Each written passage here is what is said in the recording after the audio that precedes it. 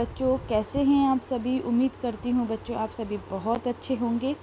चलिए बच्चों, आज हम सभी सॉल्व करेंगे हमारे विषय हिंदी की वर्कशीट कक्षा है तीन, सप्ताह है नौ। बच्चों, आज का उपविषय है सूरज और चाँद ऊपर क्यों गए? तो देखिए बच्चों, ये पाठ आप सभी ने आपकी पाठ्य पुस्तक से पढ़ा ही होगा तो इसकी कहानी आप सभी को पता होगी। बच्चों, अगर आपने नहीं पढ़ा है तो ज़रूर आप इस पाठ को पढ़िए। तो चलिए बच्चों, इस को सॉल्व करते हैं हम। तो बच्चों, वीडियो स्टार्ट करने से पहले मैं आप सभी से कहना चाहूँगी कि बच्चों, सभी जल्दी से जा कर के लाल बटन दबा कर के आप सभी मेरे चैनल जारेडा ऑनलाइन क्लासेस को ज़रूर सब्सक्राइब कीजिए, लाल बटन दबा कर के ठीक है बच्चों? तो देखिए बच्चों, पहला प्रश्न है हमारा, आसमान में दिखने वाली चीज़ों के नाम लिखिए। बच्चों, हमें आसमान में क्या क्या दिखाई देता है? हमें आसमान में सूरज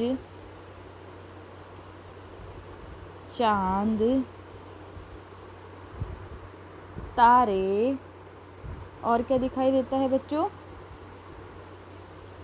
बादल और पक्षी, ये सभी हमें दिखाई देते हैं।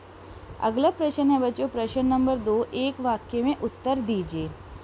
सूरज कब दिखता है बच्चों? सूरज हमें कब दिखता है? तो सूरज हमें दिन में दिखाई देता है। ठीक है?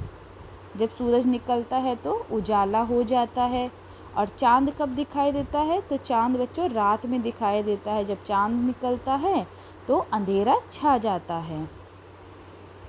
पूरा चाँद कब दिखता है? बच्चों, पूरा चाँद कब दिखाई देता है? तो बच्चों, पूर्णिमा की रात को पूरा चाँद दिखाई देता है, ठीक है? तो यहाँ हम लिखेंगे पूर्णिमा। चाँद कब नहीं दिखता है? तो बच्चों चाँद किस आ, किस दिन चाँद हमें नहीं दिखाई देता है? तो अमावस्या को चाँद नहीं दिखाई देता है ठीक है? तो यहाँ लिखेंगे अमावस्या।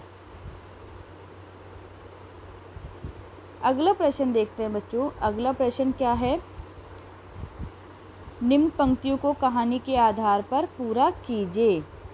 तो देखिए बच्चों मेरे बहुत मेरे बहुत सारे दोस्त हैं। मैं एक बहुत बड़ा नया खालिस्तान बनाऊँगा, घर बनाऊँगा। देखते ही देखते खालिस्तान सर तक पहुँच गया। तो यहाँ आएगा, पानी सर तक पहुँच गया। पानी खालिस्तान पर आ पहुँचा। तो पानी छत पर आ पहुँचा। वे भागकर खाली स्थान पहुँचे, वे भागकर आसमान पर पहुँचे। ठीक है बच्चों तो यहाँ हमने सभी शब्दों से इनकी पूर्ति करी है। अब बच्चों, प्रश्न चार है, चाँद और सूरज का चित्र बनाकर रंग भरे। तो देखिए बच्चों, चाँद आप सभी को पता है, इस तरह से हमारा चाँद होता है, ठीक है, और सूरज हमारा इस तरह से होता है। इस तरह से बच्चों आप सभी को बनाना है और इसमें रंग भरना है। अगला है बच्चों प्रश्न पाँच पानी से हम क्या क्या कर, काम करते हैं? चार वाक्यों में लिखें। तो देखिए बच्चों पानी हमारे अनेक प्रकार से काम आता है। तो यहाँ हम लिखेंगे पीने के पीने के काम आता है। ठीक है? दूसरा खाना बनाने के काम आता है। खाना बनाने के काम आता है। तीसरा है खेतों की सिंचाई के लिए काम आता है। और जानवरों को पिलाने के काम आता है। इस तरह से बच्चों, आप चार वाक्य कोई भी लिख सकते हैं जिसमें हमारे पानी काम आता है। अगला है प्रश्न छः, पानी में रहने वाले चार जीवों के नाम लिखिए। अब बच्चों, देखिए, पानी में बहुत सारे हमारे जीव रहते हैं तो किन्हीं चार जीवों के यहाँ नाम लिखेंगे हम, ठीक है?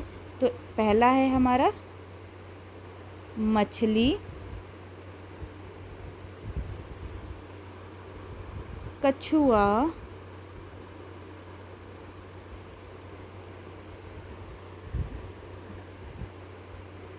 डॉल्फिन और समुद्री घोड़ा। तो बच्चों, पानी में हमारे बहुत सारे जीव जंतु रहते हैं। ठीक है, जीव रहते हैं तो आपको बच्चों किन्हीं चार जीवों के यहाँ नाम लिखने हैं। जैसे मैंने यहाँ पे लिखा, मछली, डॉल्फिन, कछुआ, समुद्री घोड़ा, आप इनके अलावा जो आपको पता है, उनके भी नाम यहाँ पे लिख सकते हो। ठीक है बच्चों, सभी को आया अच्छे से समझ में? तो चलिए बच्चों, आगे हम बढ़ते हैं। प्रतिदिन बच्चों, आप सभी को सुलेख लिखनी है। और सभी को पाठ्य पुस्तक पढ़ना है और नए शब्दों का अभ्यास करना है। संस्कार शाला छोटी छोटी पर बड़ी बातें। 26 जुलाई, कारगिल विजय दिवस। कारगिल विजय दिवस 26 जुलाई को मनाया जाता है और इसका नाम ऑपरेशन विजय की सफलता के नाम पर रखा गया है। तो बच्चों, देखिए, आप सभी को पता होना चाहिए, जो हमारा कारगिल दिवस है, वो 26 जुलाई को मनाया जाता है, ठीक है? कारगिल युद्ध 26 जुलाई को समाप्त हुआ था, जो लगभग 60 दिनों तक जारी था। और बच्चों, कारगिल दिवस देखिए 60 दिनों तक जारी रहा था और 26 जुलाई को वो समाप्त हुआ था। यह दिन कारगिल युद्ध के नायकों के सम्मान में मनाया जाता है। तो देखिए बच्चों, आप सभी को पता होना चाहिए कि हमारा जो कारगिल दिवस है, वो 26 जुलाई को मनाया जाता है, ठीक है? जीवन लंबा होने के बजाय महान होना चाहिए। डॉक्टर भीमराव अंबेडकर। बच्चों जो हमारे डॉक्टर भीमराव अंबेडकर जी थे, उन्होंने हमें बोला था, उनका कहा हुआ वाक्य है कि जीवन लंबा होने की बजाय अगर महान हो तो अच्छा है। तो बच्चों, हमें कभी भी ये नहीं सोचना चाहिए कि हमें इतने समय तक जीना है, हमें इतने लंबी ज़िंदगी जीनी है। हमेशा बच्चों, ये सोचो कि हमें जितना भी जीना है, महान इंसान बन के महान पुरुष बनकर जीना है। इसलिए हमेशा कुछ महान कार्य करने की सोचनी चाहिए। खाना पीना, घर में बना माँ की पसंद का खाना व उनकी पसंद का पेय पदार्थ पीना। गतिविधि, काम वाले शब्दों का चार्ट बनाइए, जैसे खाना पीना, खेलना, कूदना, तैरना आदि। तो बच्चों देखिए, आप सभी को एक काम वाले शब्दों का चार्ट बनाइए। जैसे क्या होते हैं काम वाले शब्द? जैसे आपने कोई भी कार्य किया, जैसे खाना, पीना, उठना, बैठना, सोना, कूदना, तैरना तो बच्चों ये सभी काम वाले शब्द हैं। इन सभी का आपको एक चार्ट बनाना है। खेल भाई बहन के साथ सांप सीढ़ी का खेल आप सभी को खेलना है।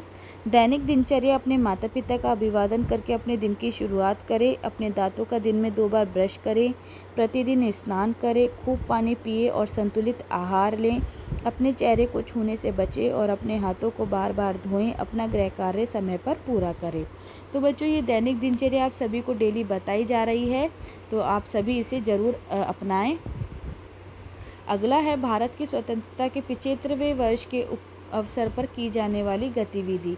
तो देखिए बच्चों, आप सभी को स्वतंत्रता दिवस, जो कि 15 अगस्त को हम हर साल मनाते हैं तो बच्चों, इसके उपलक्ष्य में आप सभी को एक गतिविधि दी गई है, जो आप सभी को करनी है।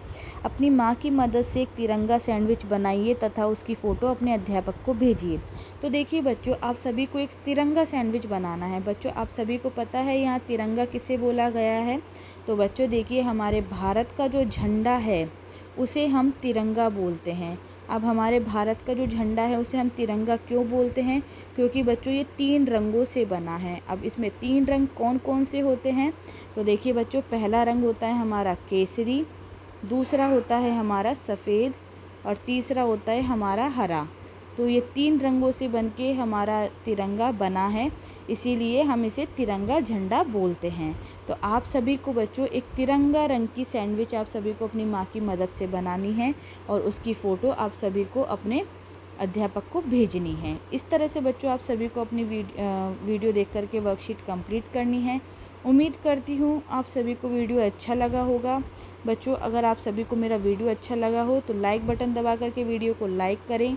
ज़्यादा से ज़्यादा बच्चों वीडियो को शेयर करें। साथ ही साथ नीचे दिए गए कमेंट बॉक्स में मुझे कमेंट ज़रूर करके बताएँ कि आप सभी को मेरा वीडियो कैसा लगा। और बच्चों, चैनल आप सभी ज़रूर सब्सक्राइब कीजिए। मेरा चैनल है जारेडा ऑनलाइन क्लास। तो अभी जाइए और सभी मेरे चैनल को सब्सक्राइब कीजिए। चैनल सब्सक्राइब करना ना भूलिए। आप सभी का बच्चों, बहुत बहुत धन्यवाद मेरे वीडियो को देखने के लिए। इसी तरह आप सभी मेरे साथ मेरे चैनल पे बने रहें।